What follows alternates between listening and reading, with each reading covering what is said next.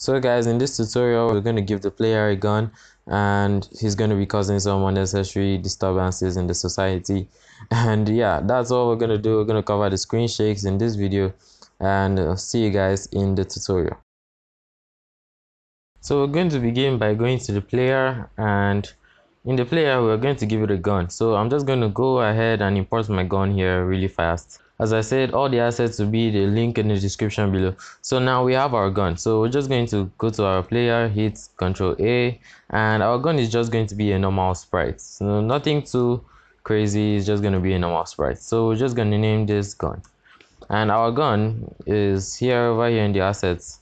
And S gun going to drag it over and here it is.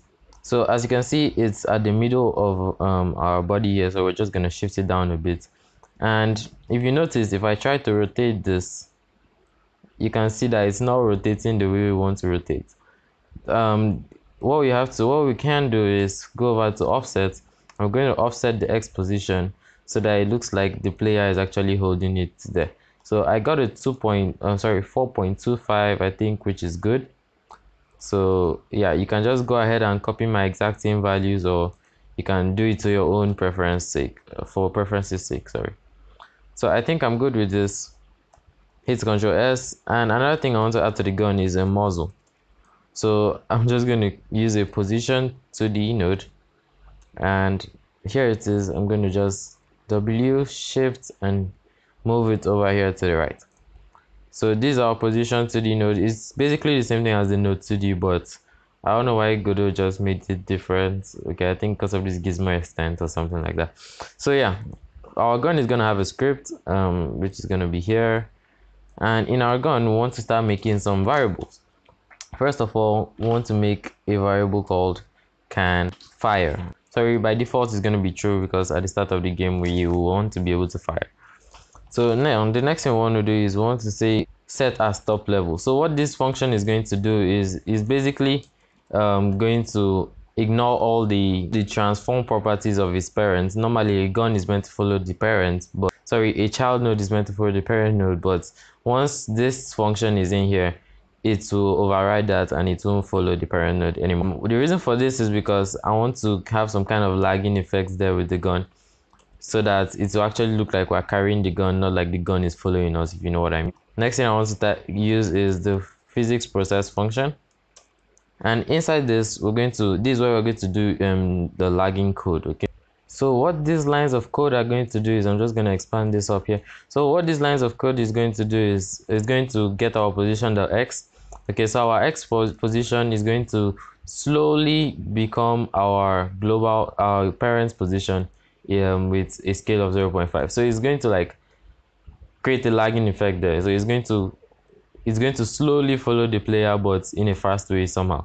So this is the same thing with position the y. And if you notice i'm giving it directly to position the y which is wrong. So i'm going to say plus 10 because from the main position of our player to the gun will be about 10 pixels. There you can see it at the left. I hope it will show in the video. So yeah so we have to actually add a 10 there so that it won't go directly to the middle of the player it will also keep this offset to our left there. So next thing is that we want to get the global mouse position. So we just make a variable mouse pose and smash that function in which is going to give us wherever the mouse is look is. Next thing is we want to use the lookup function. So this lookup function is one very simple function that Godot made us use um, which is going to look at whatever vector t you put there. So in this case you just put mouse position. Now we're done with the looking at the gun looking at the mouse. Now we actually want to start firing the gun. So we have looked at the mouse we've done everything and we want to fire at something. Okay so first off i want to go to project project settings input map and i just want to get an action here. So the action i'm going to use is fire okay? So just gonna click add. And over here you're gonna see it. I want to add an event which is the mouse button event which is the left mouse button. So this is the button that we're going to use to shoot um, our gun. So we can say if input dot is underscore action pressed fire. We're going to pass for now.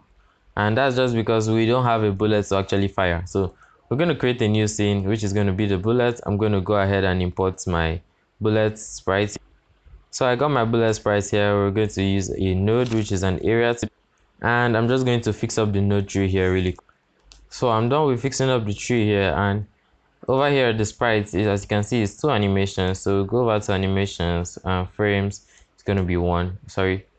Um h frames is going to be two and frame is going to be one for now so we have this which is really cool and we're done with our collision shape. Just fix it to the size of the sprite there. It's going to take it at the top. And we're going to save this as bullet.tscn in objects. So the next thing we want to do is we want to add a script to this bullet. So now what we're going to do is we, first thing is we don't want um, some a situation whereby our bullets are flying and let's say they leave the scene and keep going and stuff like that so we're going to add a node called a VisibilityNotifier2D which is going to actually tell us if the bullet has left the screen or not. So as you can see here it has a signal screen entered screen exited. We're just going to connect screen exited and when we exit the screen we want to delete ourselves. Okay so when the bullet exits the screen it's good to go. Okay we're done with this. Now is um is the bullets code. Now we're going to say export okay we're going to use the export var here var speed. And i'm going to give it something like a 200 okay? Uh i think a 200 is too small. I think like 1500 now also we're going to set it as top level so and if we don't set it as top level the thing is if we shoot a bullet and we turn the gun the bullet that has already been shot will also turn which is going to be a disaster and that's what we don't want next thing we're going to do is a function which is the physics process function and we're going to put in this lines of code. So now we, have this yield statement okay? So what this is going to do is immediately after the bullet has been shot from the gun it's going to um, start the timer and the sprite of frame will be equal to 1 and it's going to set the physics process to false. So this in plain english means um, when we fire the bullets okay this sprite actually is meant to be at frame 0 so when we fire the object um, this sprite is going to show only once and it's going to show the main bullet sprite. So it's just going to be like a hit flash there or something like that. Next thing is a for is a process for and this is where we're going to be moving the bullet. So just say should be plus equal this. So over here we have a vector 2 the right times speed. Um sorry this is meant to be.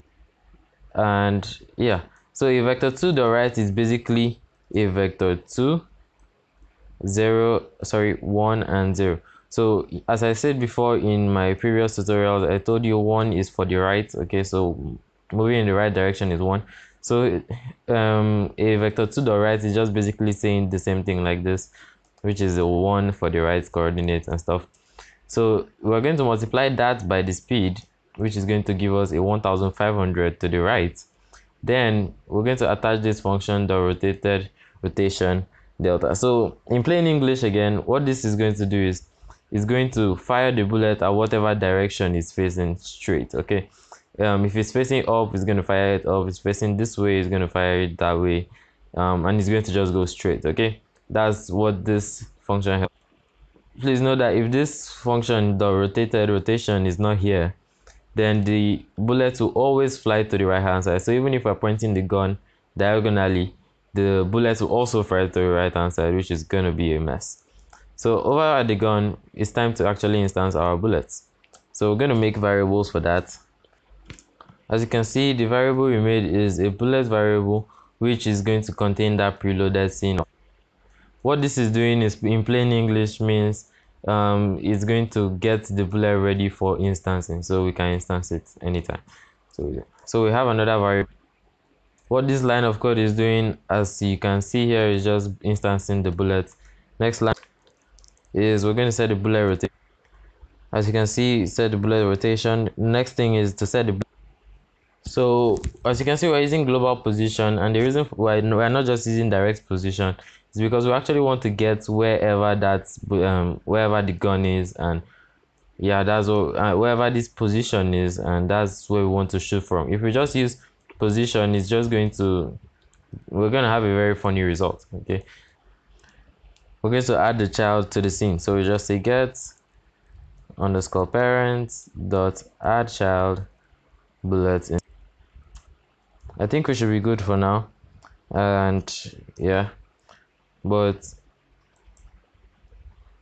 we actually didn't use this can fire variable. But we're going to use it because if we don't use it it's going to give us a funny effect which means the bullet doesn't have any firing delay which is very funny. So we're going to set up that can fire.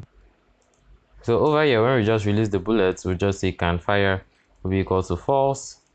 And we're going to which says get tree dot create timer and the timer is 0.2 because that's the delay we're actually going to have before firing another bullet. And after this we just say can fire equals to true. Can fire. So over here when we fire the bullets when we want to fire the bullets we say and can fire. So if we cannot fire we're not going to fire the bullet. Um so if you run this now you're going to see that it's going to have that delay but i don't want to waste time so i'm not going to run it. And if we go back to our bullets we want to connect some signals from this area. So we say on body entered the body entered signal so anywhere we enter a body we want to delete ourselves actually. So anything that looks like a body once we just enter it we're gonna delete ourselves. I think this should be good. Uh, oh and hooray it works everything works we delete ourselves when we enter a body and everything is good to go so now one of the last things I want to do is the screen shake effect. So whenever we shoot the gun, we actually want the screen to somehow shake and stuff. So here we're going to add a camera for that camera 2D and that's for the player, take note. And next thing we're going to add is just a normal node. So this is actually going to be the screen shaker so I can just name it screen underscore yeah. And this one other renaming I wanted to do um, okay yeah which is the Position2D i want to rename this to muzzle because i don't know i just like renaming my stuff so that we can keep everything organized.